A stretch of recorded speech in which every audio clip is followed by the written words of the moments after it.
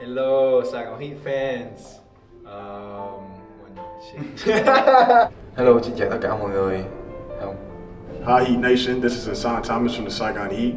Team voi đây. Hello Heat Nation à, Thì một năm vừa qua là một năm thành công của Sài Gòn Heat Khoa muốn cảm ơn Sài Gòn Heat fan đã ủng hộ ờ, đội với Khoa.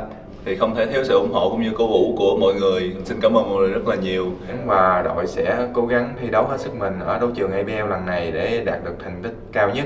Um, I just want to thank you guys for all the love and support that you've shown us throughout this past year. Và mọi người sẽ tiếp tục uh, ủng hộ đội Thì nhân dịp Tết đến, An cũng như toàn thể đội bóng chúc các bạn một năm mới an khang thịnh vượng.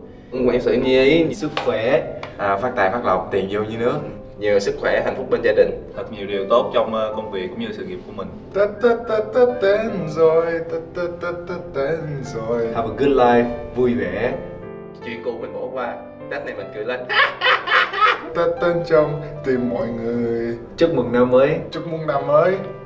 Hẹn gặp lại mọi người uh, tại Hồ Chí Minh Vào ngày 12 tháng 2 đến ngày 17 tháng 2 Là sẽ có circuit cho ABL đánh ở Việt Nam. Uh, đã ha. Please come out and support us. See you there. Support nha. Ở chỗ không biết chỗ nào chưa biết. Yeah.